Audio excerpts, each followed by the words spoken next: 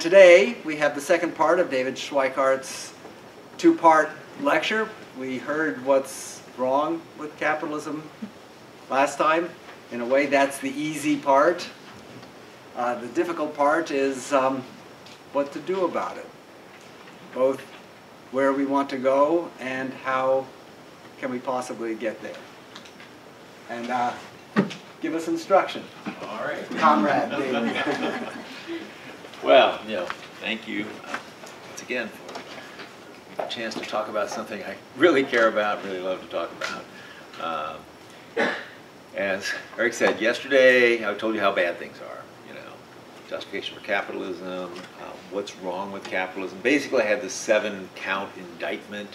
Uh, the inequality uh, that's built into the system is now spinning out of control. Unemployment, overwork, poverty in the midst of, prosperity, poverty in the midst of plenty, uh, the fact that we have this economic instability, you know, which seems to be irrational, uh, then looming ever larger, the degradation of the environment, climate change, uh, and um, the degradation of democracy.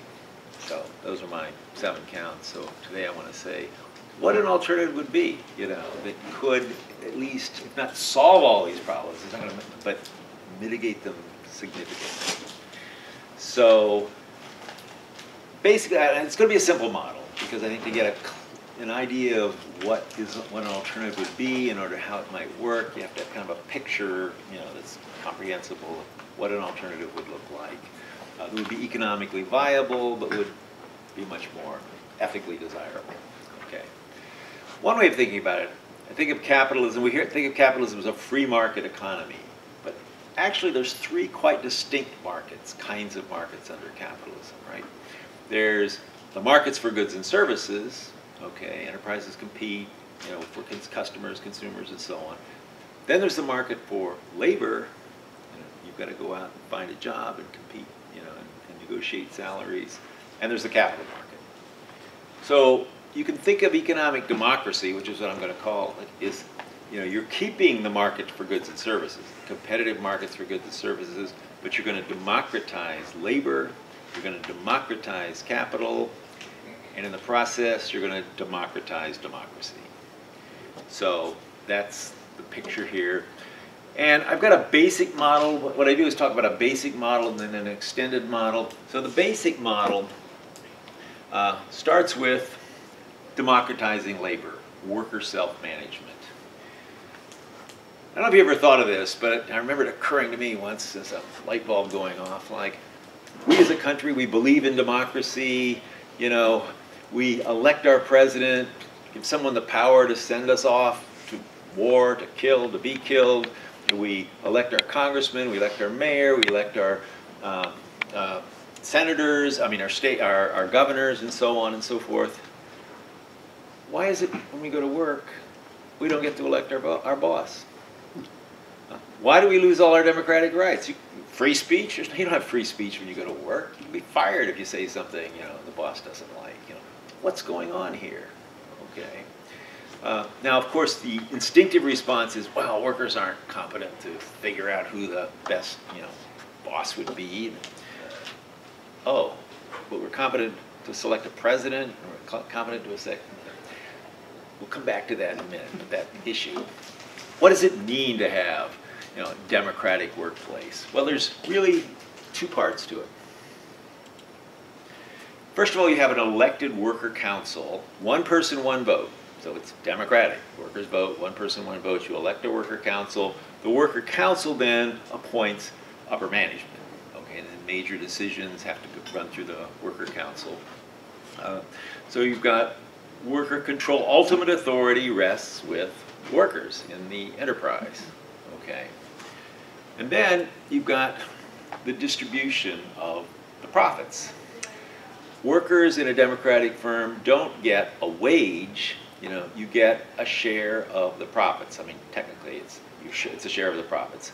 Uh, now, notice profits are defined differently in a democratic firm than they are in a capitalist firm, because in a capitalist firm, profits include you know, it's the difference between what your, your costs of production and what the selling price is, but costs of production include labor in a capitalist firm. In a cooperative firm, the costs are the difference between what you sell your product for and the non-labor costs, and so on. Now, that's what gets divided up among the workers. Not necessarily equal. In fact, it's up to the workers to decide, but most democratic cooperatives decide no, there'll be some inequality. You know, some people that have more skills will get more. Some people that have more responsibilities will get more because you are actually competing also to have good people, you know, in your firm. Uh, seniority, you might want to give people, you know, some greater shares. But the point here is, even though there's inequality, it's agreed upon inequality, and everyone in the firm has a stake in the firm doing well. Okay, uh, and not only in you doing well and working because how well the firm does, also how well your are your coworkers, you know, working hard, are they being conscientious, and so on. So there's this collective, you know, responsibility here, which means that you know democratic firms typically have less supervisors. You don't need as many foremen and so on. You don't have to have people monitoring to make sure people work hard because it's in your own interest, you know, to do so. So when you actually look at the data about efficiency, you know, almost all of the studies, there have been lots of cooperative studies, and almost all show that democratic firms are at least as efficient, you know, as capitalist firms. And this is the main reason, because you've got this worker orientation, the stake that workers have in the firm. So democratic firms do work. Now there is a question that always comes up, well, if they're so efficient, they're so good, why aren't there, why aren't there so many more of them, you know? Why haven't they proliferated? Isn't that the way the market works? You know, the best, you know, dominate. We'll come back to that, you know, in a minute when we see some of the differences. But worker self-management. Then there's the competitive market for goods and services. Uh, basically, we, like we have now, prices for goods and services are largely unregulated, set by supply and demand. And it's interesting, uh, the market in this sense sort of is a form of democracy. Milton Friedman always makes this point, you know, it's actually when you're buying something, you're voting with your dollars. You're saying, I like that, we need more of that. You know, people that don't like something, you're not voting for it, the prices go down. So the market is responding to what people want.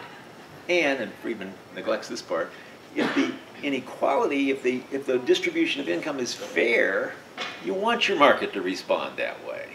Okay, so that the market itself isn't really the problem. Now this, of course, is very contentious. Uh, very, it was very contentious when I was first arguing this on the left among socialists. It's still contentious, although less so than it, than it once was. But anyway, I am defending a version of market socialism. Then there's the question, oh, firms strive to make a profit, but it's the difference between sales and non-labor costs. Okay, social control of investment. Now this is another issue. Uh, James Galbraith, uh, the son of an economist, son of John Kenneth Galbraith, another well-known economist, uh, has remarked, you know, markets are good, but they've got two defects. The poor don't count, and the future doesn't count. Uh, market decision, and this is more true now than it was even when Galbraith made this comment. Decisions about investment, particularly in the financial markets, you know, if you've paid any attention to those financial markets, these decisions that are being made there are not only, you know, not long-term, they're often, you know, within seconds and microseconds and the latest computer programs and so on and so forth. What we're not doing is looking long-term for what to invest. And, and, and, and long-term investment affects, you know, not just the people investing, it affects the community. What are we investing in? What are our priorities? You know, so we need democratic input into that. Okay, how do we get democratic input into investment? Well, we have a public banking system. Okay, banks are public, and there's two parts to investment. Remember, you need funds, and then they need to be lent out to be invested in the real economy. Where do you get the investment funds? What we don't do is rely on private individuals, the savings of private individuals, that investor class that you then have to keep happy. No. Investment funds are generated publicly by a capital assets tax. Capital assets tax, basically it's a property tax on businesses, okay? A flat rate tax, okay, it's quite transparent. It- all gets collected into a centralized investment fund, okay? Then what? Well, then it's put back into the economy. How does this work? Well, first of all, it, all of it, first of all, a certain portion of this will be set aside by the national legislature that's collecting the tax, or for pro- projects that are public projects that are in national in scope. I mean, if we want to upgrade our rail lines or something like that, or we have some bigger environmental projects, yeah, that's going to require investing into the economy, you know, putting people to work, building things, we do that. The rest of it, though, goes back to states and goes back to communities each state or community gets its fair share. Uh, and that basically, you know, uh, prima facie is per capita share. So in other words, the investment funds then go to the states and go to communities depending on how many people are there. And a, a way of thinking about this, capital goes to where the people are. Under capitalism, capital goes where it wants to go, and then if you're community is losing jobs, then you have to move. You have to find, you have to follow up, go to where the capital is going. Let's not do it that way. Let's send the capital back to the communities. Uh, and when it gets there, uh, some funds are set aside for public projects. The rest are, okay, return to the regions on a per capita basis. And then, then the rest goes to public banks. Okay, so businesses, cooperatives, individual businesses, people wanting to set up a new business, you go to these investment banks, okay? They make the loans, okay? Uh, there, it's a pub, these are public uh, employees, you know, there, but it's open, the books are open, we can see who's making the loans. They're expected, the bank, the lending officers are expected to make profitable investments, you know. Uh, it's public funds, you don't want to be wasting them, uh, although, you know, there's a risk involved, but, you know, you, you take those risks.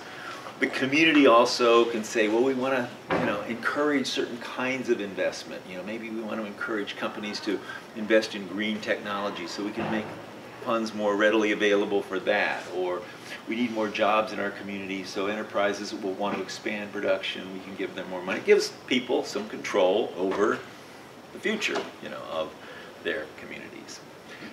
So those are, you know, the basic mechanisms here of the basic model. Now, I also argue that there's some other institutions that I think would also be good to have in this alternative. The expanded model, there's three of them. The first is the government as employer of last resort. Now, you may remember the last time I pointed out that capitalism requires unemployment. Is the disciplinary stick that keeps workers in line because in a capitalist enterprise, you've got this conflict of interest. From the capitalist point of view, labor is a cost. You want to get as much work out of people as possible, pay them as little as possible. Workers' point of view, you know, I want to get paid as much as possible and work as little as possible. How do you keep the labor force disciplined? Well, you've got to be able to fire them. You know, they got to, you know, be worried if they're not doing their job. Democratic firms have a different incentive structure. It's in everybody's interest, you know, to do well, to work hard, to see that your coworkers are also doing the same. So you don't need the threat of unemployment. You can fire somebody if they're really screwing up or something. I mean, yeah. But in general, you know, it's not necessary to discipline the workforce by threat of firing because, you know, your own well-being is immediately directly tied up with that. So, so there we can have the government as employer of last resort because the democratic economy is like it doesn't guarantee there will be enough jobs. So if there weren't enough jobs, the government needs to step in because I really think, uh, if you think about it, employment is more than just making money. An unemployed person, if you, if you are looking for a job and can't find a job, society is essentially saying to you, there is nothing you have to offer that's worth our paying for. Okay? We may keep you alive, we may give you food stamps or something like that, but you're a parasite, you know. And at some level, you kind of think that because you are. Uh, you're eating, you know, you're using the food stamps to buy food. Other people are working for you, but you're not giving anything back. So I think it's really important, and that's why it's not surprising, you know, when you have a lot, a lot of unemployment, you need a sense of self-respect somehow. You join a gang, you know, become a, you, you do something, you know. But we need to guarantee the right to work should literally mean the right to work. The government will guarantee a job. It'll be minimum wage, but it'll be doing something useful. Everybody ought to have the right to work. Okay. So, the second one, socialist savings and loan associations. Here the idea is we want to distinguish under capitalism there's this there's two things that go on with the banking system. You know, consumer loans, you know, home mortgages, this sort of thing, and investment in the real economy to produce more things, you know, or change your technology, this kind of stuff. They need to be separated. The investment, that determines the future. You know, so that we want under democratic control. Consumer loans are different in the sense that, uh, first of all, some people have savings, you want to save it, you know. Uh, we can put it in a bank, a savings and loan association.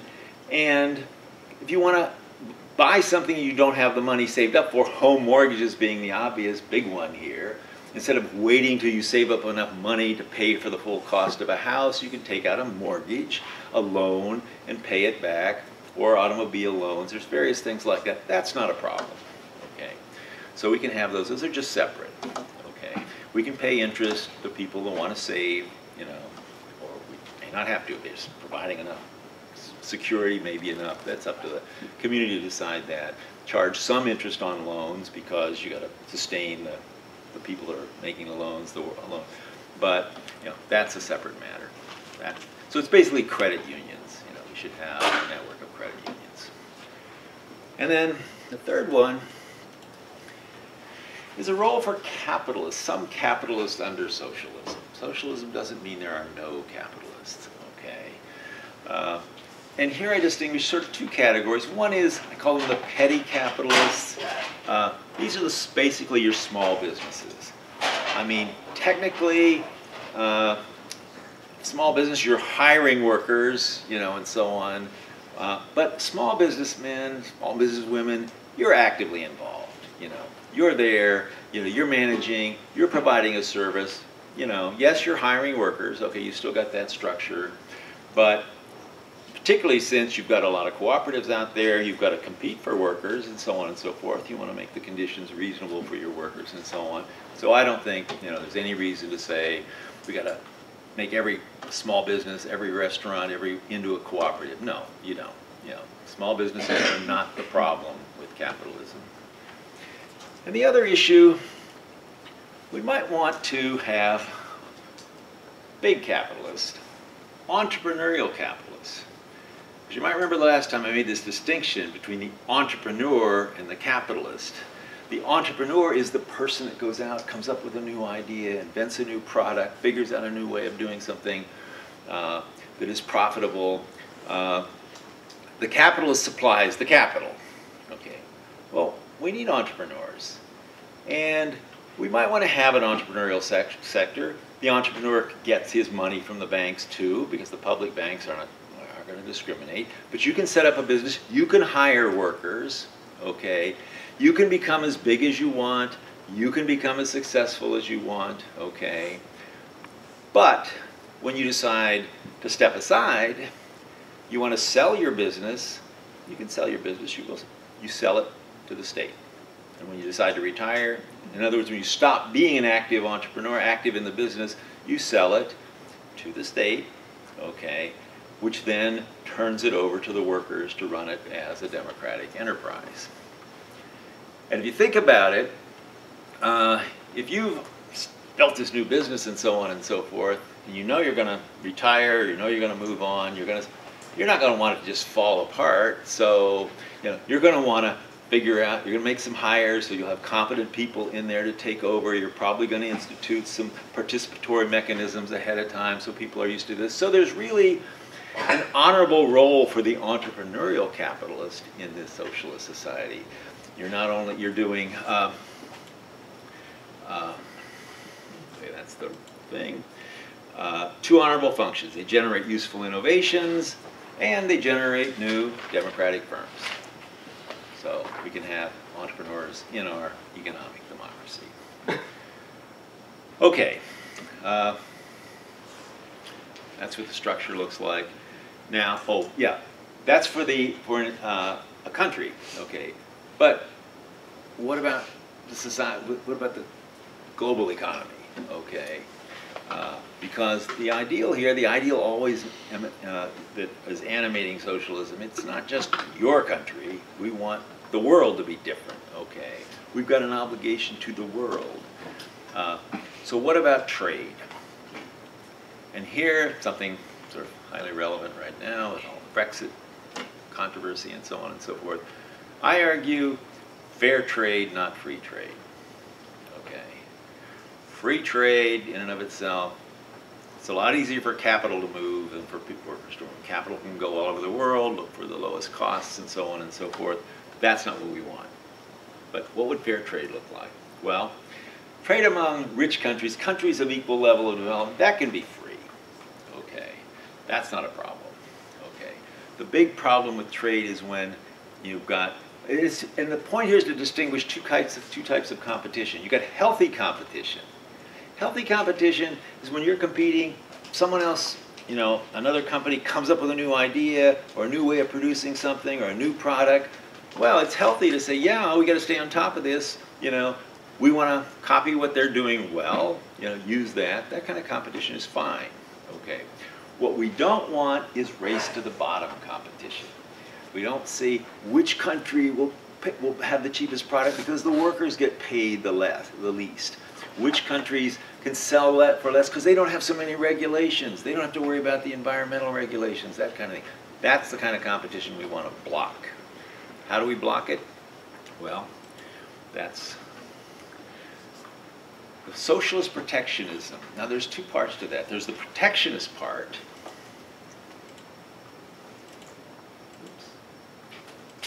Don't know where it is. Anyway, protectionist part says uh, if the reason this product is coming in from the poor is cheaper because workers are pay, being paid low, we don't want that. So we're going to put a tariff on the good coming in, okay, that will make the price of that good comparable to what it would be if it were to be produced by people being paid the same wages our workers are. We do want to protect, you know, our workers from this kind of competition. Or if it's cheaper because they don't have environmental regulations that we have, well, we want to put a tariff to compensate for that. We do want to protect. But the socialist part says, and then we take that tariff and we rebate it to the poor country. Okay. Uh, to the, if it's a progressive government, we can rebate it. It's our money, our tariff. We do with it what we want. We can give it to the government if it looks progressive. We can give it to NGOs. We can give it to the labor movement there. We want to help those poor countries develop, okay? But what we don't want to do is race to the bottom competition, okay? So that's the other part of the model. Ah, there it is. I just didn't print. So blocks irresponsible competition and is rebated to poor countries to help them alleviate poverty and environmental degradation and so on. Okay, why is economic democracy ethically and economically better than capitalism? Okay. First of all, a couple of structural differences. I mean, you may think, well, democratic firms, they compete, it's a market, they're going to behave just like capitalist firms. That's not exactly true. In fact, there's a couple of fundamental ways they're different. First of all, you know, democratic firms do not migrate to other countries in search of low labor costs. People don't vote and say, oh, wow, let's all move to Mexico, because it's a lot cheaper. No, okay.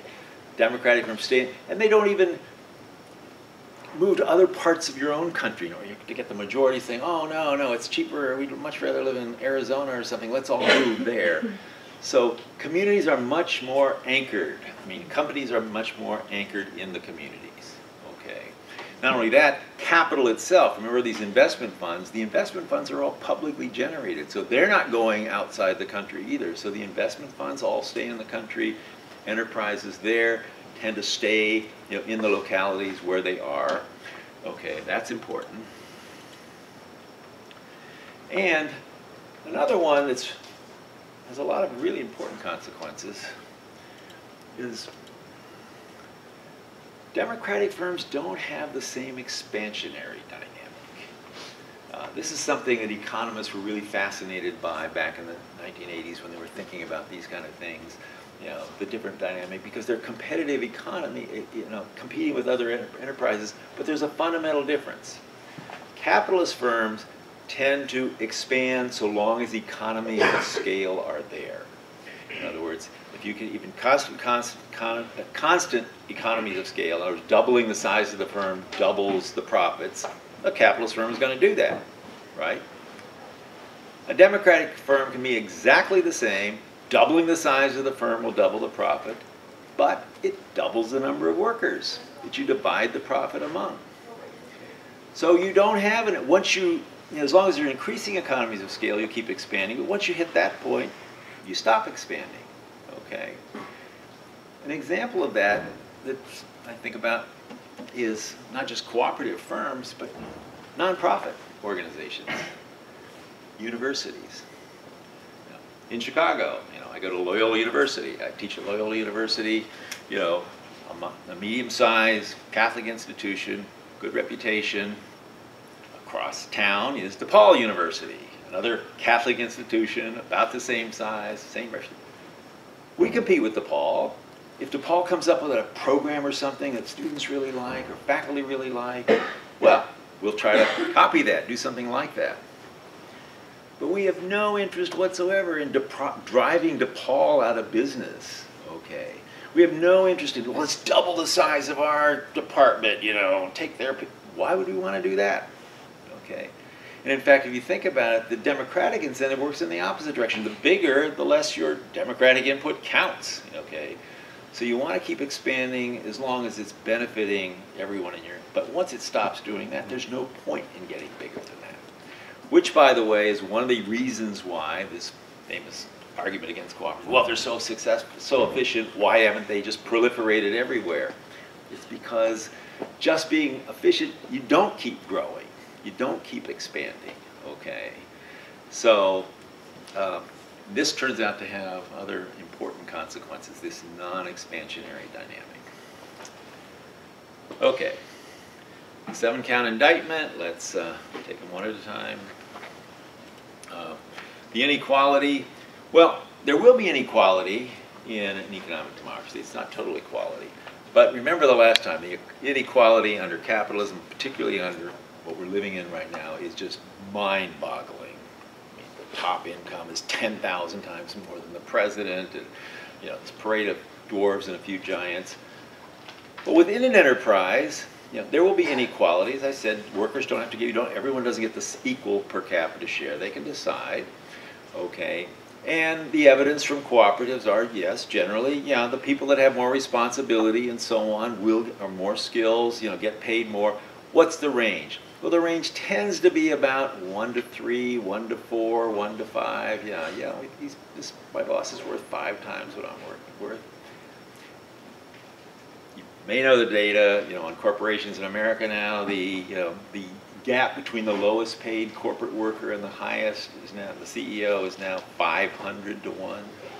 You know, There's no way a Democratic firm is going to, yeah, that guy's worth 500 times as much as I'm worth. I mean, it's not going to happen, you know.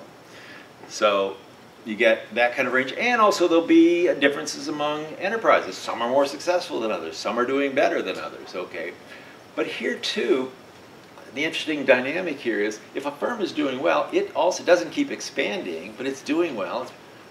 But then you've got these investment funds coming into other communities, other places. You're seeing, we've got these funds to invest. This kind of, this product is really doing well. Well, let's copy that. Let's set up a firm like that. You know, we'll have competition. It's kind of one of the interesting things about democratic competition. The competition is less intense in the sense you don't want to drive your competitor out of business. You want to, you don't want to lose market share, or you want to develop an innovation somebody else comes up uh, comes up with but democratic firms don't nearly don't have nearly the tendency to become monopolies. I mean, one of the paradoxes of capitalism is the more intensely competitive it is, the more quickly you get monopolies because you just drive your mm-hmm. competitors out of business, you buy them up, and so on and so forth. That doesn't happen in a democratic economy. So you'd have some differences. Uh, democracy is a check to the inequalities, public investment. So roughly, I'm saying about 10 to 1, maybe, you know, between the lowest paid. The lowest paid would be, you know, living wage, you know, because you've always got the option of government as employer of last resort paying, you know, living wage. So say 30,000. 10 times more than that is 300,000. I mean, that's no small gap, 30,000 to 300,000. It's certainly plenty of incentives there, but it's nothing remotely compared to what we have under capitalism. So, so that's the inequality. Unemployment, two things here. You know, one is this social control of investment that's coming into your community. If it looks like you know there's unemployed people that aren't getting a, we can we've got investment funds to maybe set up a firm, set that they can work in, and so on and so forth. Or you know, if that doesn't seem viable, well then there is the government as employer of last resort. So you know, we can use our investment funds to try to encourage companies that you know want, want to expand, we'll hire some more workers, we'll make the loan easier to get, or, you know, we've got the government as an employer of last resort. We can have full employment, okay. Overwork, okay. That's this paradox of capitalism. The higher the unemployment, the harder the people that have jobs have to work, you know. The tendency to have to work more and more because you're so anxious about, you know, losing your job. A democratic firm, the structure is completely different. You know, if you get a new technology, okay, you've got a choice. Are we going to use this new, tech, more productive technology to produce more, you know, and make more money, or produce what we're doing now and work less? This labor-leisure trade-off is non-existent in a capitalist firm. No capitalist firm says, "Oh, we got this technology. Okay, you guys, you can, we'll give you longer vacations. You can don't have to work as much." No, you know, what happens in a capitalist firm, you get this, well, we're going to lay off part of you guys. Okay, that's not what happens in a democratic firm. And the more this importance of scaling back consumption, and this doesn't even scaling back, you're going to consume what you did before, you're just going to have more free time. The importance of having more leisure, the importance of, you know, not consumption out of control means that option will likely be more and more taken. So we've got a society that can use the productive capacities in a way that actually does promote human happiness and well-being. Okay, poverty. Okay, two issues. Uh, in rich countries, in rich countries, if you have full employment, this government is full employment, government employer last resort. Basically, you've eliminated poverty.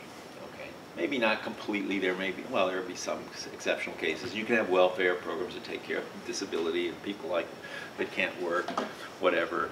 But the, the poverty problem disappears. Everybody that wants a living wage, you know, has access to a job like that. There'll be some glitches, some people just be irresponsible and so on, but, but that, nothing like the problem we've got now. Now, poor countries, uh, this is another issue. What should we do with respect to global poverty, this poverty in poor countries? Uh, what should rich countries do? Well, I've got a number of suggestions. One is, first of all, forgive the debts. You know, there's something just obscene about these poor countries having to use their resources to pay off the loans that they've been given. Forgive that. They're not going to be able to pay them back anyway. You're just making them practice, you know, more and more austerity. Get rid of that phase in the, pol the policy of socialist fair trade. Now, you know, fair trade, I've said there should be this tariff if companies are, countries are producing things that are cheaper because their workers are paid low. Well, we don't want that to happen.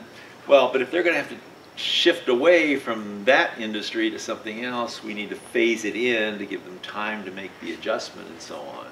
Uh, but there is something, if you think about it, kind of irrational about saying, yes, these poor countries, they should use all their resources for us, so we can consume mm-hmm. all this stuff, you know. Why aren't you using your resources for your own people? Okay. Well, because it's cheaper to do it this well. It wouldn't be, you know, as we phase in the, the, the uh, socialist protectionism, but also give help in that direction. Uh, first of all, free technology transfer. I mean, one of the objections to technology transfer. The, the arguments for intellectual property rights are, well, if they go to the these poor countries, they'll be able to produce the same thing, you know, these drugs that only we're allowed to produce, you know, they can produce them for a very little, and then they'll ship them to us, and you know, and they'll put our workers out of business. Okay, but if you're protecting your workers from that, then there's no reason why all the technology should be free. These, you know, you know, that people can benefit from that. You know, uh, benefit from the research we've done in pharmaceuticals and so on. Well, let's there shouldn't be any you know, tariffs on that. Should no intellectual property rights on that. Uh, research and development, incorporating poor country researchers. You know, uh, so we've got our university systems, got lots of research. We'll give people access to that, scholarships and so on and so forth. You can take advantage of that. Uh, toward poor country problems, you know, figuring out how to deal with,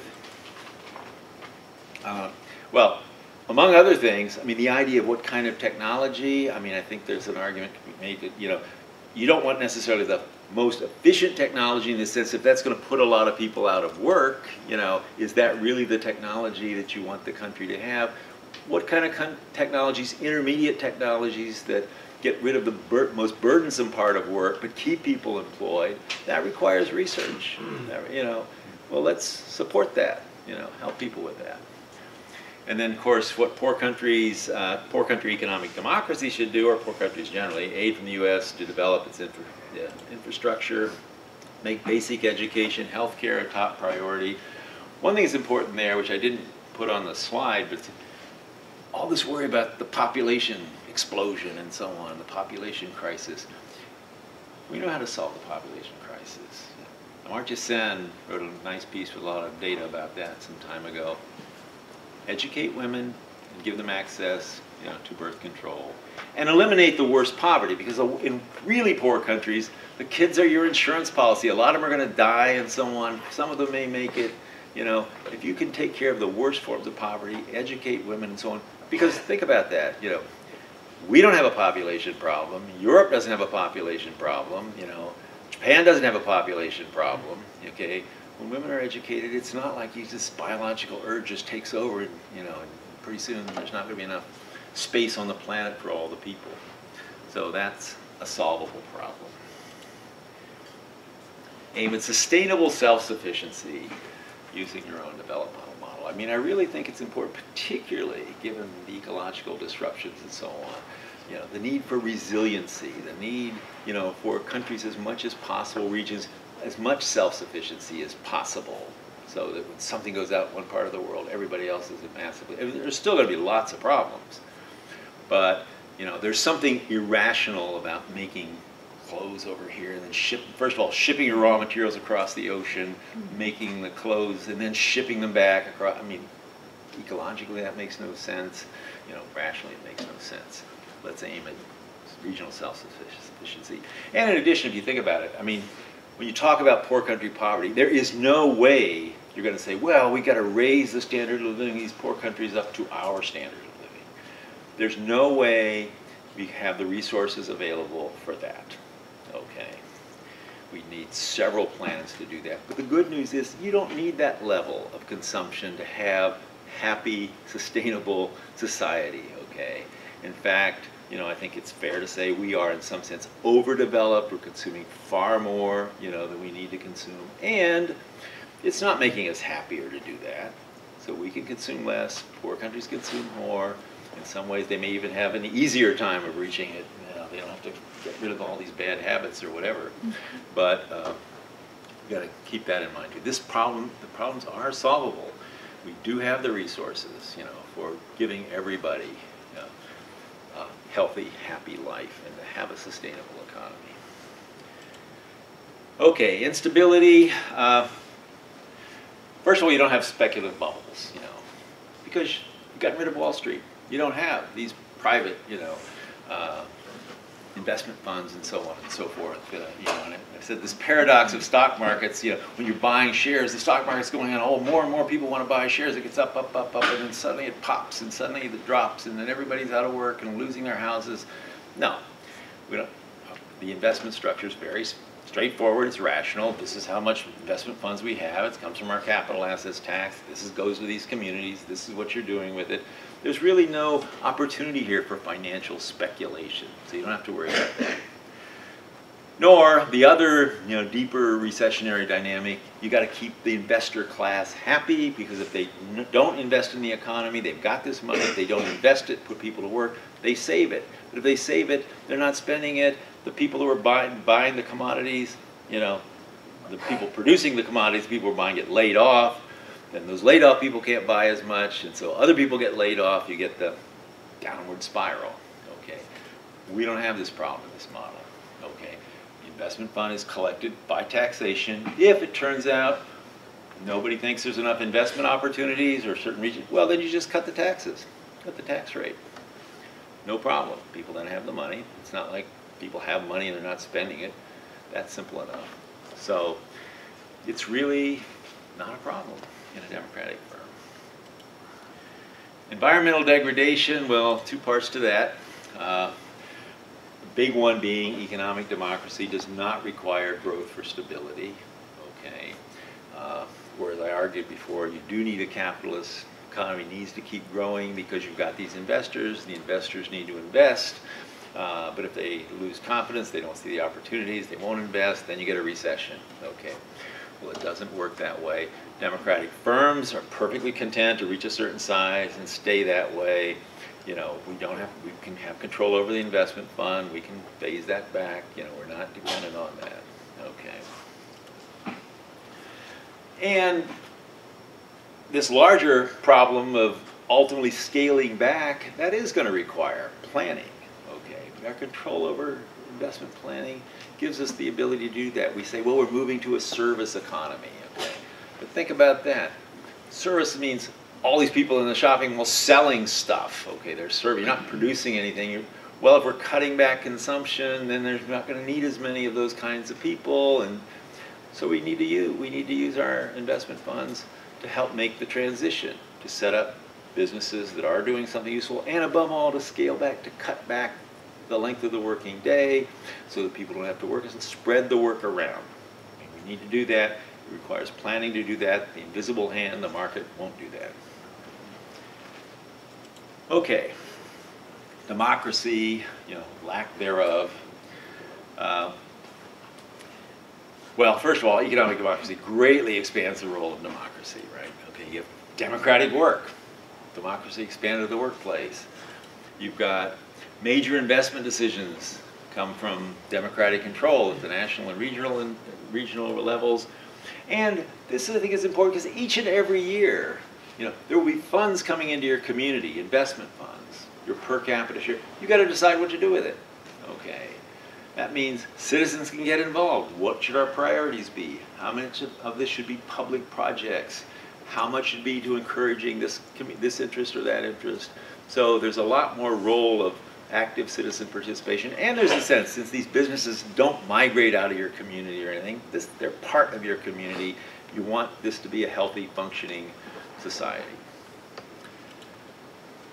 And of course, there no longer exists this small class of people with sufficient wealth to dominate the political system.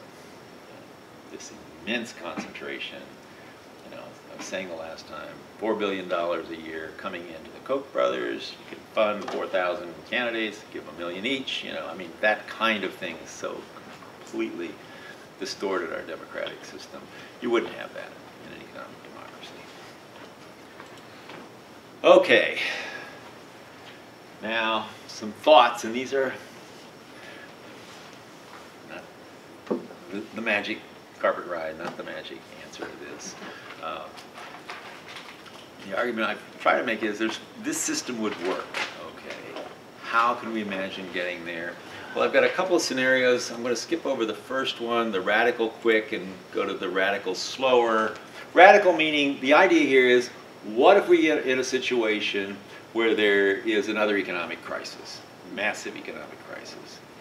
But at this time, we've got a movement, we've got a political movement that's got an agenda, that's got a vision and so on that gets elected, okay? Think kind of like, you know, Roosevelt in 1932 in the Depression, suddenly there's this huge landslide election for a new vision, a new deal, uh, and, you know, you got political control in Congress, you know, a lot of the states and so on and so forth. What could you do? How could you make the transition? And a, and a demand on the part of the, we've got to change things, you know. We've had another one of these crises, you know, we've got this environmental crisis going on. We've got to change things rapidly. What could we do? Well, how could you get to the model of economic democracy? Well, one way is basically all these public traded companies, let's nationalize them, the commanding heights of your economy.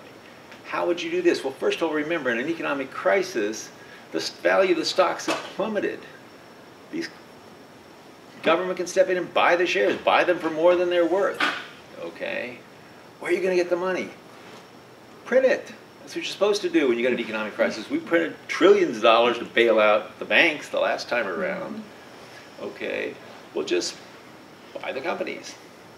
Okay, and turn them over to the workers. Workers are now running them. Now, of course, you'll keep the same, you know, CEOs, you'll keep the same management and so on and so forth for a while. You're going to have time to make the transition and figure out how to do all of this. But, you know, nationalizing the companies wouldn't be hard to do. If you remember after World War II, a lot of countries nationalized a lot of their industries, their energy industries, their transportation industries.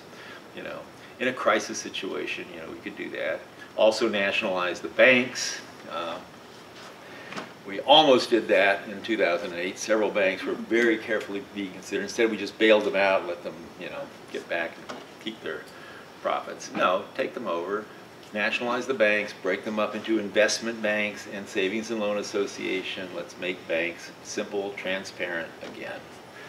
Uh, you'll need a capital assets tax because we're not going to rely on private individual savings anymore for investment. Uh, but, you know, what were the value of the companies? Well, pick a date and time not too far back. What was the value of their capital assets, their stock shares? How many shares were there? Multiply those numbers. Okay. That's the value of your capital assets. We'll charge a flat rate tax on all of that. Uh, that last one's a little mis mistaken, a little misleading. The idea here is the vast majority of financial assets are owned by a very small percent of the population.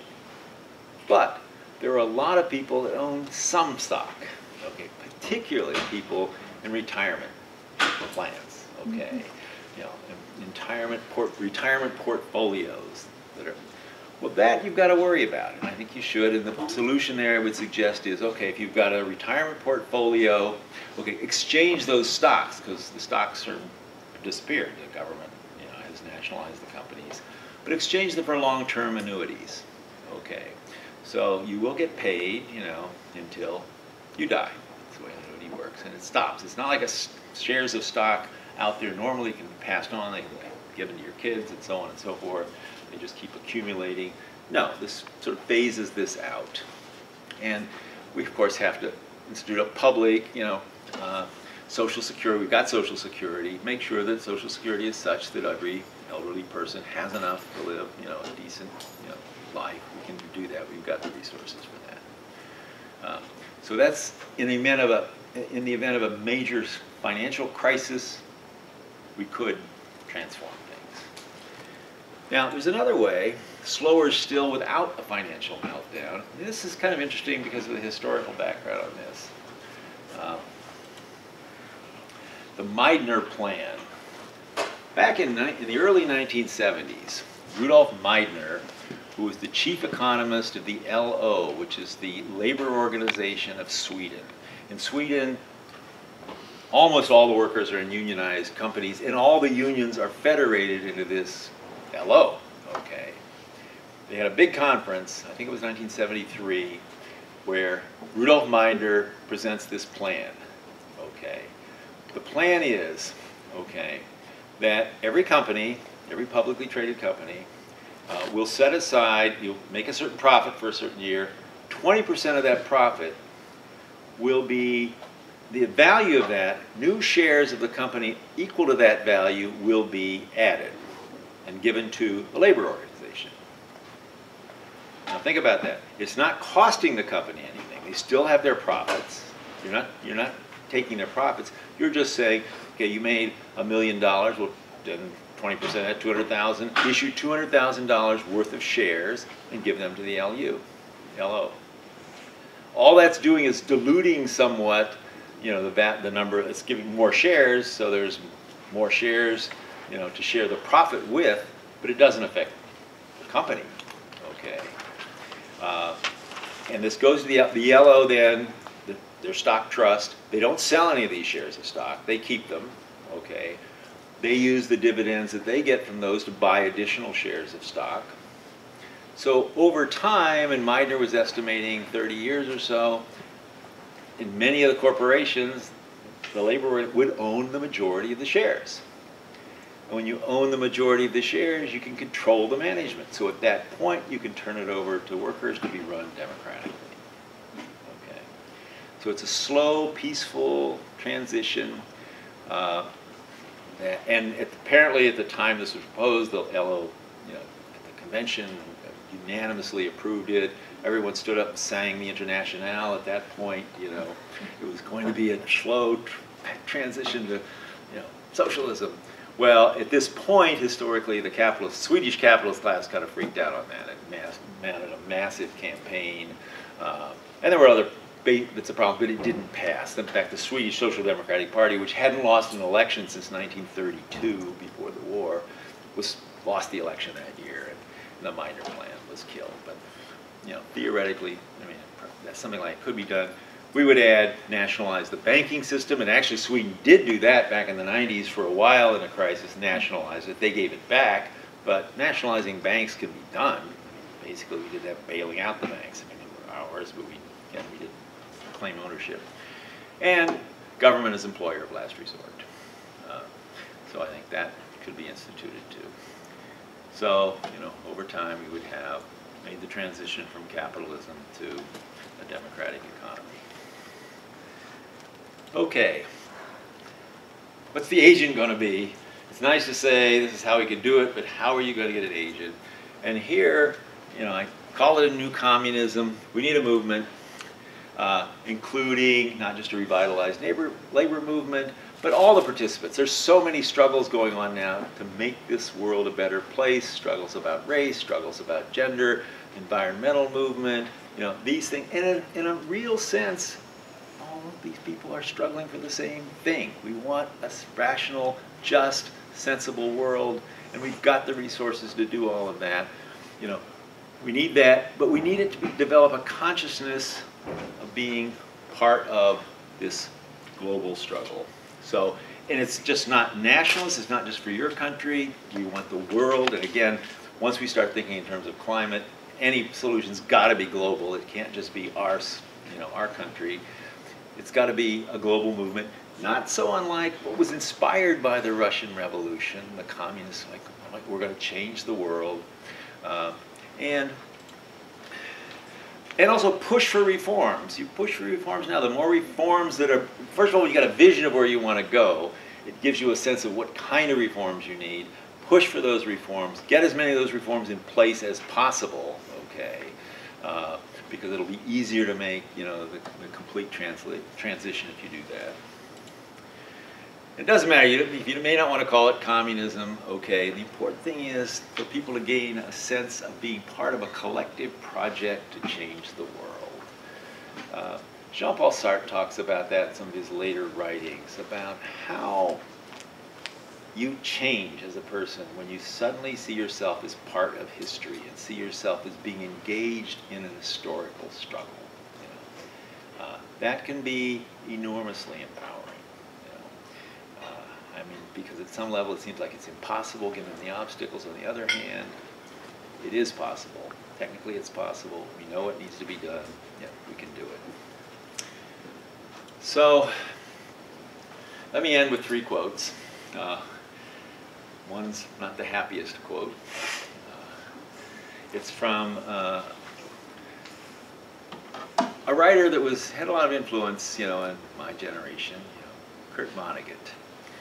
Uh, and this was his last book. Uh, it was uh, A Man Without a Country, uh, just written shortly before he died, in 2005, I think it was. Later. The crucified planet Earth, should it find a voice and a sense of irony, might now well say of our abuse of it, Forgive them, Father, they know not what they do. The irony would be that we know what we are doing. Mm-hmm. When the last living thing has died on account of us, how poetical it would be if Earth would say in a voice floating up perhaps from the floor of the Grand Canyon, it is done. People did not like it here. That's what's at stake. Here's another quote, you know, by Nobel laureate Uh, literature, quoted by Amartya Sen, the Nobel laureate in economics that I quoted last time. Oh, the, oh, this is the picture. This is this is the world. History says don't hope on this side of the grave. But then, once in a lifetime, the longed for tidal wave of justice can rise up, and hope and history Seamus Heaney, the Irish poet, this is quoted in um, uh, book, The Idea of Justice. And then a final quote, it's one really that electrified me when I first encountered it 47 years ago when I just started studying philosophy. Philosophers have only interpreted the world in various ways. The point, however, is to change it. So I thank you for your attention.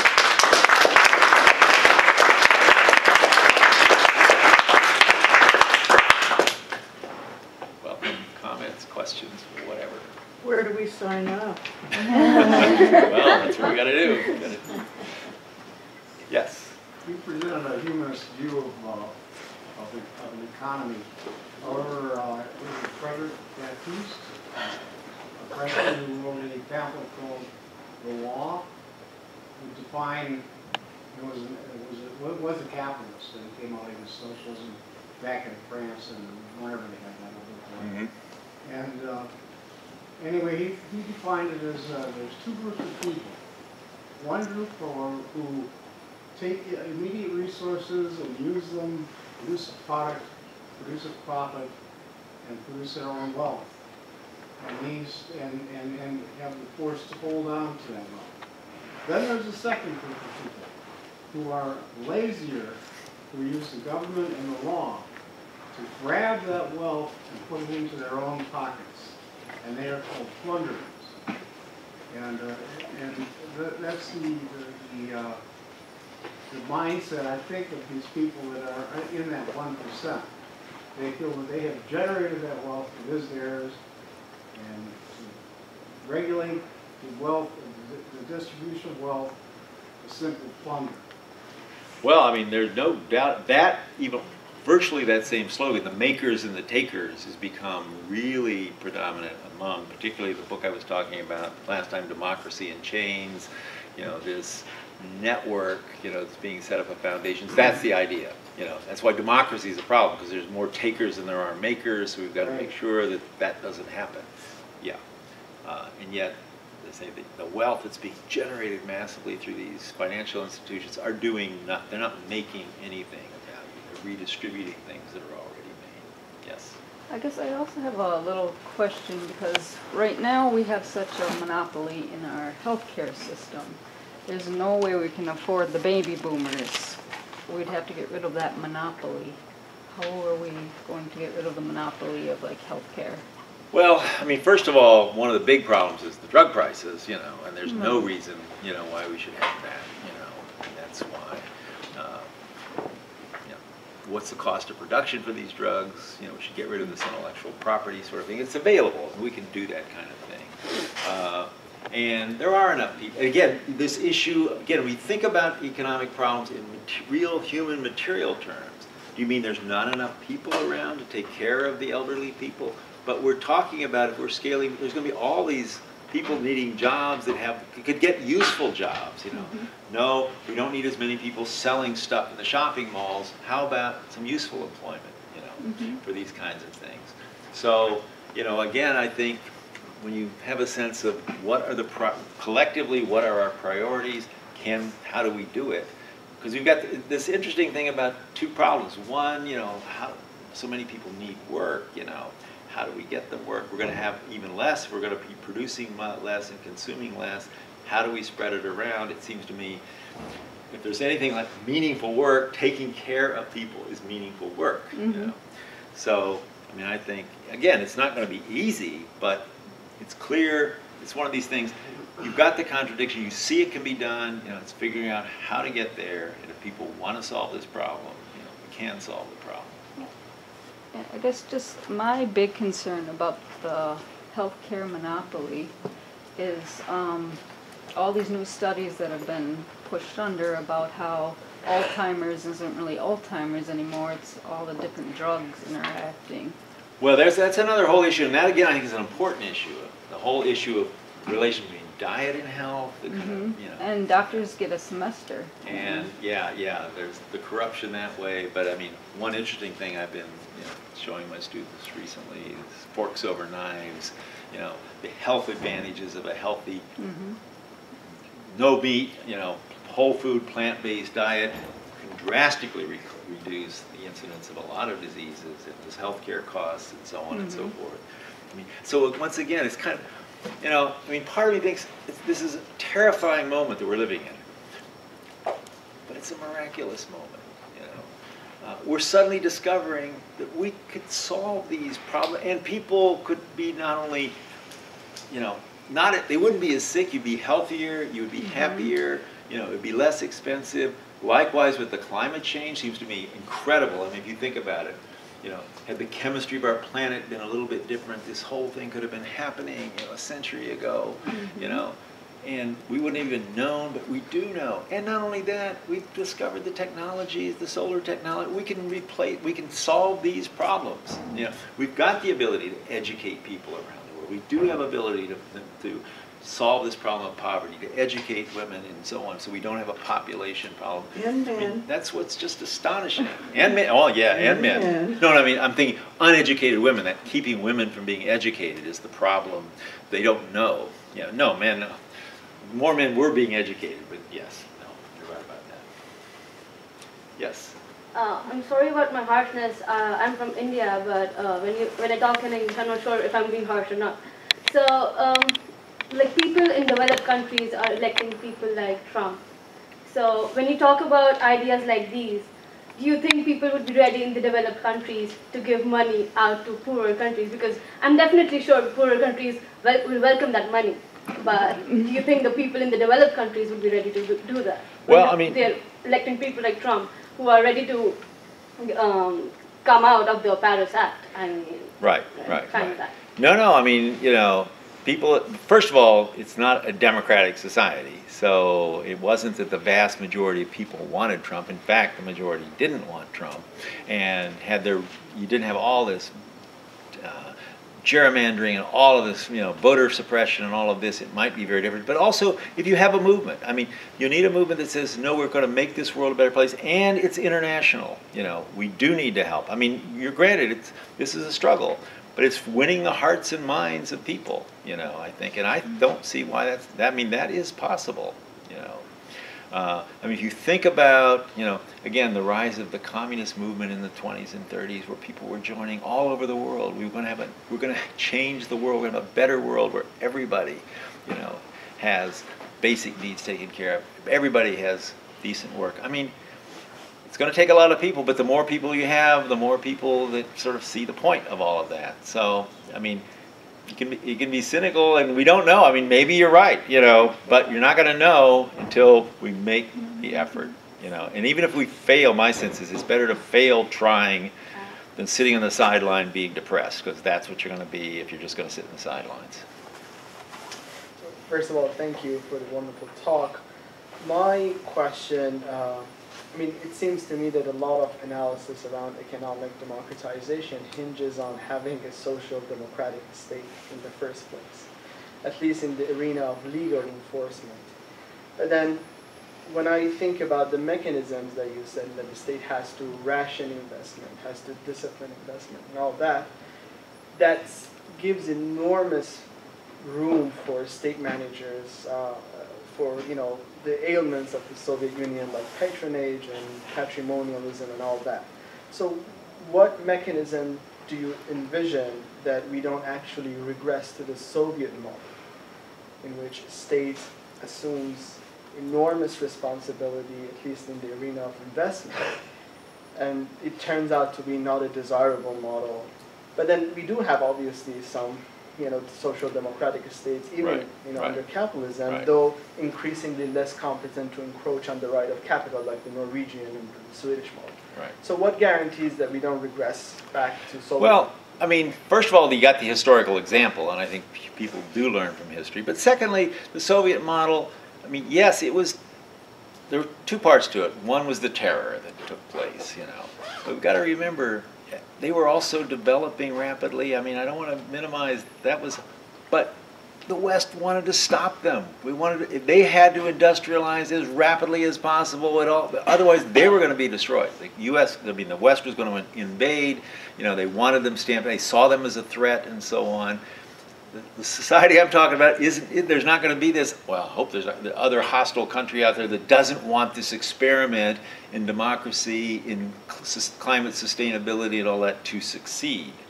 Uh, plus, the model is specifically set up to be decentralized. It's not centralized planning. You're not trying to plan the whole economy.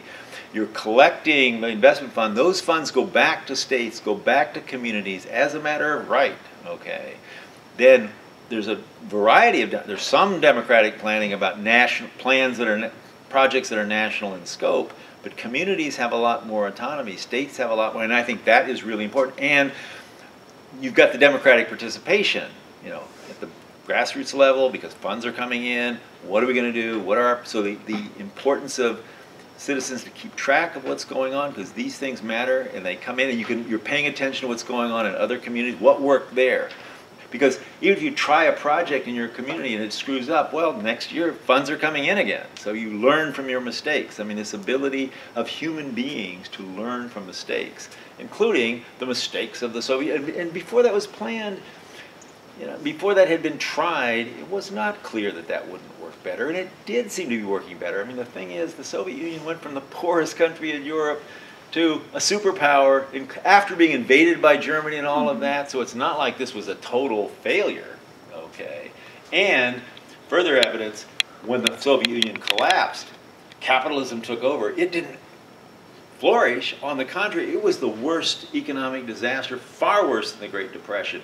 To this day, life expectancy is lower now than it was back then. I mean, so mm-hmm. we, we learn from the mistakes that they made. Learn from the mistakes that China made. You know, but that's how we can talk with more confidence about something that would work. Yes. You, kind of separate questions now, sorry. First, a while, not that long ago, a lot of us had a lot of hope in Venezuela and Chavez and Ecuador and Bolivia. It, it seemed a peaceful tradition, transition to socialism. It's all falling apart in Cuba. Why? That's my first question. Two, what, what about the relationship between capitalism and the military? Yeah, boy, both of those are you know good questions. Uh, in fact, you know, in the introduction of my book in 2011, no, I was very hopeful about the pink tide in Latin America and so on. It was a la- and this is really difficult because if it succeeded, it was going to show you could have a peaceful democratic transition to a different society. Um, but now we see, I mean, a lot of it was sabotage because you still had that capital, it was sabotaging, you know, the, the reforms that were being attempted. And of course, in Venezuela, you were also dependent on oil. You were trying to do things about that, but that, you know, again, was very hard. This money, free money's coming in, and so on and so forth. Why, you know. Uh, so, and, you know, and of course, the United States was doing everything it could to make these experiments fail, you know. Uh, uh, certainly that's true, you know, in, in uh, Venezuela. Cuba, I think Cuba is an extraordinary model to think. I mean, whatever the problems, and there are problems, but Cuba, I've been to Cuba quite a few times. You know, I went actually the first time in 1991, expecting it to collapse, like all of Eastern Europe and all these communist countries collapsing and so on. And the United States tightened the embargo. It's like, oh, the Soviet, they were supposed to be this pawn of the Soviet. Soviet collapses. Oh, they're okay now. No, no. Now we got to tighten the embargo to make sure they fail. Uh, and it was astonishing to see how people pulled together. You know, and people lost weight, the, the burden was shared, you know, and the pride that people took in being able to do that, you know, was to me just um, amazing. And also some recent studies, I mean, the, data on Cuba, I, I give a lecture often, uh, an economic, exp- a world historic experiment that must not fail. Because uh, a couple years ago, the World Wildlife Foundation had a study of countries in the world that have a high level of development in terms of education, literacy, mortality, and so on, and aren't consuming more than their per capita sustainable share of resources. The only country that fit that criteria was Cuba. And you look at life expectancy, life expectancy is the same in Cuba as it is here. You know, infant mortality is much lower in Cuba than it is in Mississippi. You know, lower than it is in the United States generally, but the southern states are much, much worse, you know. So there's so many things, and the U.S. is still trying to, you know, make that experiment fail. Noam Chomsky had this line, the threat of a good example, how we got to make sure none of these things succeed because otherwise, you know, people are going to get the wrong idea. So I don't know. I mean, my fingers are crossed about Cuba. You know, it's accomplished, and there's a lot of pride in what they've accomplished. There's lots of problems. We're going to see. This is an historical moment in so many ways. What about another strategy, in addition to those that you laid out, and that's the sort of the crack strategy? We have this system that functions, but there's cracks in it. There are lights shining through from different forms of organizing labor, work, land. How- What, what about that? No, no, those are also important, you know, I think the Gar Alperovitz things about, you know, land trusts and cooperatives and, and, no, I think that's, those are also a very important part. And again, people that are part of any of that should be part, see, be, see themselves and we should see them as part of this larger global movement. You're looking at, you know, where you can make reforms and, and the, when you set up a reform, if it works, like for example, just the, having a state bank, you know, a public bank. Well, the North Dakota's got a state bank, okay? It was set up by a socialist back, you know, in the 1930s, okay?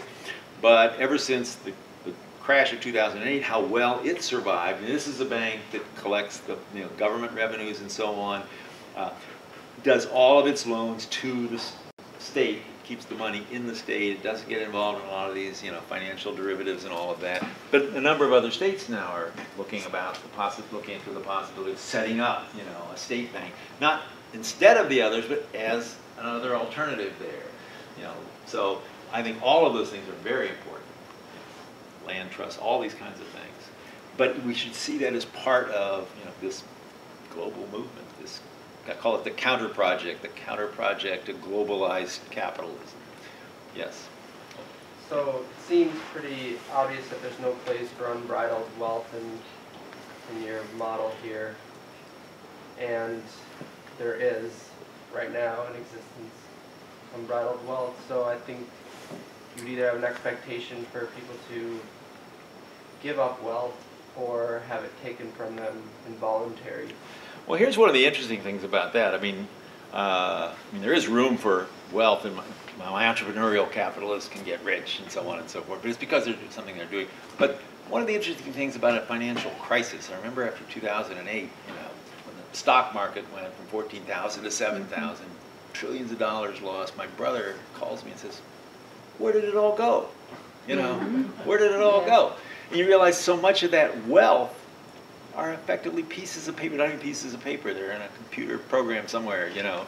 Uh, if there's a collapse, uh, I like to think Marx has this famous line: "The expropriators will be expropriated." You know, when the capitalist, cla- when the proletariat has enough power.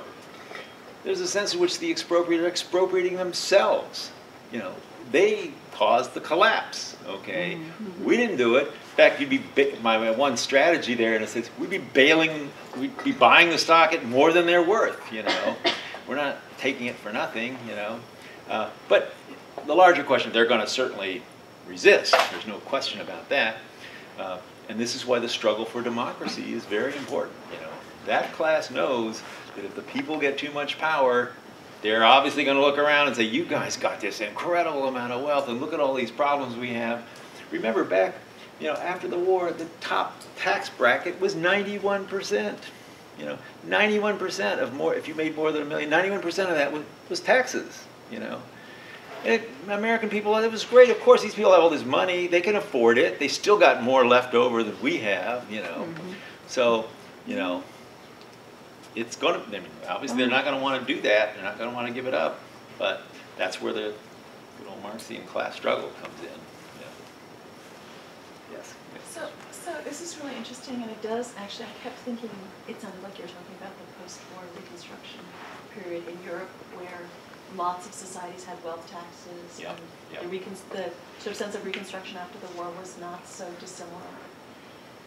But I actually want to ask how you would decide who's a mom and pop business that you're willing to allow be a private business, and who would be, how you decide who's the entrepreneur who gets to have their private firm versus the ones that have to be democratic. Well, here, I mean, in terms of how big a business has to be before you're no longer a small business, I seem like we make a collective decision, so many employees, if you have more than its employees, then you're gonna have to democratize it, turn into a, But in know. the era of automation, employees may not be a measure of how, I mean, Well, but see, I think if it's that small, we don't have to worry about it, you know. I mean, I, I mean, it's a good question, but I think that one, yeah, there's, there gonna be a perfect answer, no. But roughly, you know, if you have less than, pick a number, 15, 20 employees or so on, you're a small business, you don't have to turn it into a cooperative, okay? We're not gonna buy you out or something like that. Uh, And, ooh, your other question, part of the question was? the mom and pop Yeah. businesses versus. the- Oh, oh, but the So entrepreneur themselves. entrepreneurs versus the. Yeah, there, my sense was, no, anyone, you know, that wants to be an entrepreneur can, they got a project, they go, go to the, the bank for funding, if they can convince the bank this might work, try it. If it works, it works, and you can just keep, then you've got lots of profits, you can reinvest in your own company, you can hire as many people as you want, you can be as big as you want, you know? Uh, and, but when you decide to leave, you know, then you sell it to the state. So anyone can try, but you're gonna have to convince the, the bank that this is worth trying, and there's a lot of banks around, go around, shop your idea around, okay? So, Just on that note, so if, if you get rid of intellectual property rights, how do you make sure that people actually want to be entrepreneurs and come up with innovation and then they invest in it, everybody can go and replicate it? well, I mean, if it's something that people can replicate, yeah, it's gonna be a little harder, but, but people like, say, Joseph Stiglitz said, you can, you can have bone, you can have big prizes for people to come up with innovative ideas, or, you know, how much incentive do you have? I mean, you could have intellectual property rights with, without this big a timeline, you know. I mean, it dissolves after five years or something like that, you know, how much money you can make. Because again, if you're in a society, something like we're talking about, this egalitarian society, the desire to have more and more wealth, just, it doesn't have the same effect, you know. It doesn't carry the same prestige and so on. So, the idea, you know, everybody realizes you've done this wonderful thing and so on and so forth, you know, that is also part. But you can, you know, you can have the money for that. If people copy it, in a way, that shows it's a good idea. Lots of people want to do that, you know, that shows what a valuable idea is. It's how great you are, you know. I'm pretty sure that's why they invented patent law, was to force people to explain how they, to- it was to force people to make public their technologies in exchange for twenty-five years of protection or stuff in the original. Oh, yeah, that, yeah, I didn't think about that, but that, that's probably true. But it doesn't have to be twenty-five years. Right, you can make it shorter, but it was to make it public. Yeah. Uh, Thank you. Um, So, so it seems that a lot hinges on winning the minds and hearts. And I wonder what, uh, what kind of social order mechanisms you have uh, in, in our disposal for that. Um, I'm coming from, from education and, Mhm. and wonder if you have any thoughts about how education can be a instrument for that or other. Well, see, that's the thing. There's so many things out there. It's hard to know how it. But the fact that yeah, people are educated now, you know, and if you could start, and that ideas, you know, have this way of ideas that are unpopular can suddenly take off, you know, when you start seeing them. Also, a big question mark in all of this is social media. You know, is it going to be a positive? Is it going to be a negative? Is everybody just addicted to their phones and can't think about larger things? Or can these ideas, you find out things that are going on and you want to be part of this, you can organize. That, to me, is a big, open question at this point, as to, to what extent, you know, because, uh, you know, again, I, in the sense is, public opinion I, can change very rapidly. It looks like a long period of time when things are beneath the surface and then suddenly, you know, they can shift, you know. And particularly if there's a crisis issue, and we're going to be seeing crises, we've got environmental crises, we may have another economic, you know, crisis. There's, we don't know what the future is going to be. What we do know is it's not going to be slow, steady, you know, live happily ever after. We know that's not what it's going to be. In the beginning of your lecture, you presented a three-legged stool. I believe it was labor, capital, and what was the other one? Land. Land. What happens when labor disappears, which it's doing right now with robotics and technology? I mean, we have, we actually have machines that can talk to you on the telephone. And we have machines that can drive your car, park your car, drive you, and plus manufacture a wrench, uh, you name it. There's really no room for labor in, the, in the conventional sense. Do you think that possibly we could get uh, reparations for the people that are being displaced uh, by robotics? Well, first of all, remember, it's not the machines doing the displacing. It's the people that own the machines that are deciding to use Oh, those yeah. machines to, you know, displace people. This raises a, another question, which I didn't really touch on, but democratic technology. I mean, technology is now, I mean, research on technology is not just intellectual, you know, it's who wants technology for certain kinds of things. So Marx talks about that long ago in terms of de-skilling, you know. Mm-hmm. You want the machines that require less skill. Human beings actually like to practice their skills, you know, mm-hmm. but it's cheaper to hire people with less skills. So if we have more democratic control, first of all, they're not going to replace everything, but what do we want replaced? Do we want something, just because it can be done, you know, doesn't mean we want it to be done. We can decide, no, we actually, human be, labor is an important part of being a human being. Now, we can also use it to reduce the time, you know, spread that around so that technology isn't making all these people unemployed, and then, as I say, the people that still have jobs are more anxious than ever, and so on. And you obviously can't just get rid of all the people because who's going to buy what's who's going to buy these goods? You know that the Oh, yeah. machines are producing. You know that doesn't make any sense. Well, yeah. And, and al- al- In also gonna just add one more thing, that, uh, uh, my wife's son is doing recruiting in Silicon Valley for teams of people to advance this robotic program. I And this is full-bore, multi-billion dollar enterprise. So don't be surprised if you, have, you know, replace most of the workforce. Well, but then it's not going to help capitalists because suddenly, you know. In a, in a, in a real democratic economy, you probably want maximum automation. I mean, there'd be no reason. As long as you have a basic income. What? As long Yeah, as I mean, you you need, there's a problem of how to create livelihoods. Uh, uh, it's, you haven't mentioned unconditional basic income. It seemed to me that uh, maximum automation plus a generous unconditional basic income uh, is a, is a desirable outcome. Well- It doesn't mean that work disappears in the sense of creative labor. It just means that work that can be done just as well by a machine is replaced, and then if, with a basic income, people can self-organize into cooperatives and other forms of social economy and solidarity economy activities. No, I think that's possible, one way of thinking about it, but on the other hand, I think there might be a lot of jobs you don't want to get rid of. Like, I, it's quite possible you could have somebody else, instead of having a human being mm-hmm. teaching up here, mm-hmm. you could really have a mm-hmm. sophisticated online course that will, I'd rather not see that job disappear. I mean, there's jobs that people, not because of the money I'm making, it's, they're jobs that are intrinsically satisfying. Why do we want to get rid of those? You know, this idea Marx talks about unalienated labor. When you Yes, working, you see the, you have an idea, you see the world take shape, you make something in accordance with what you're.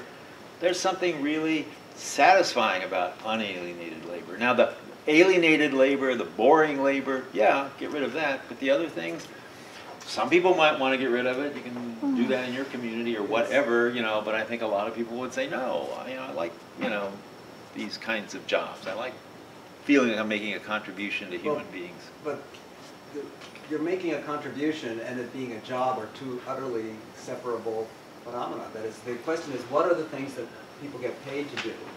And what are the things they do as self-organization? And um, it's not plausible to me that because of the nature of us as a species, that a pure robotic online version of would replace the small group seminar in which people talk face to face and hash out deliberatively through communication. Well, maybe you just put a, So, something so in someone's brain so- and they'll just know everything, you only have to tell them.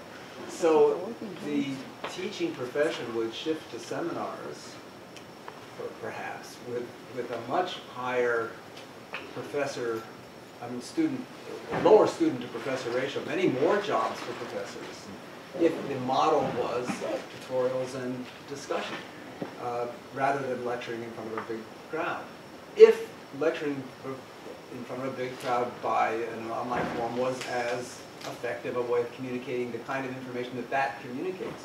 So, I mean, I, as a general first approximation, maximum automation in a demo, it seems like something that would be opted for, and where some things might not be automated, but probably because they're not actually done better when they're automated. Doesn't actually, Well, see, that's the idea of done better, meaning done for the person receiving or the satisfaction that comes with, you know, doing the labor. There's Why no- doesn't that count? There's no restriction on you doing the labor. You don't have to be paid, it doesn't have to be a job to constitute labor if you have a world of, No. That's the thing I would think. Communities can try different, you know, states can try different things. Which one are people happier doing and so on and so forth. I don't, I mean, I think unalienated, unalienated labor is a really vital it's part. not of it. unalienated But- paid labor that's. the- Well, it's No, but whether you can make that distinction and make it work, you know, I don't know, we can try. Yeah. It's, uh, this is some, this is a theme that tomorrow in the, this is Yeah, yeah, yeah, the freewheeling, open, no holes barred discussion tomorrow. Well, holes barred, we're very polite and civilized. Uh, Not tomorrow. necessarily. Okay, so thank you very much, David.